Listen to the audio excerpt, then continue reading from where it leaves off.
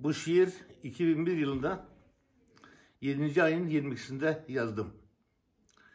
AK Parti kurulmazdan 20-22 gün önce yazdığım bir şiir.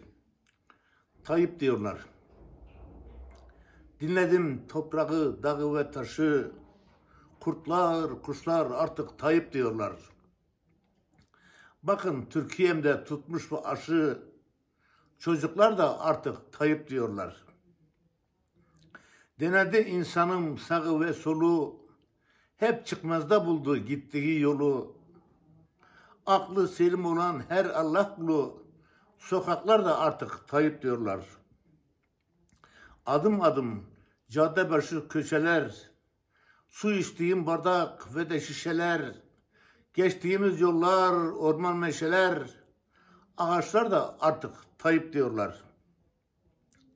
Uyanınca çocuk ana demeden, meleyen kuzular sütün emmeden, bülbüller şafakta gülün dermeden, goncalar da artık Tayyip diyorlar. Aldığım her soluk, verdiğim nefes, şehirde, köylerde sorduğum herkes, ne saklı ne gizli açıkça bir ses, rüzgarlar da artık Tayyip diyorlar. Sevinsin milletim, sevinsin vatan. Huzurla uyusun her şehit yatan. Gelecek günlere umutla bakan yavrular da artık Tayyip diyorlar. Kime güvensin ki bu millet daha? Bir ulus yürüyor, kalkmıştır şaha.